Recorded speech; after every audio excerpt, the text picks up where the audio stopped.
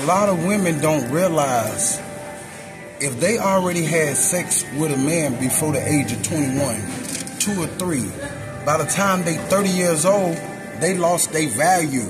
And then they walk around here and think they the surprise. You're not the surprise. A woman got problems, they mental. They think they the surprise. They're not the prize. Now the reason they not the prize because they walk around all dropping eggs, dropping eggs. Remember, long they drop eggs, they ain't making no baby. But as soon as that man put that sperm in them, the sperm is electricity, life, then they make a baby. Then they want to talk about, oh, without us, it ain't no life. Look at all these girls at a young age having sex and they think it's cute. Mm. By the time they, what, I'm gonna go there again. By the time they 30 years old, they lost their value.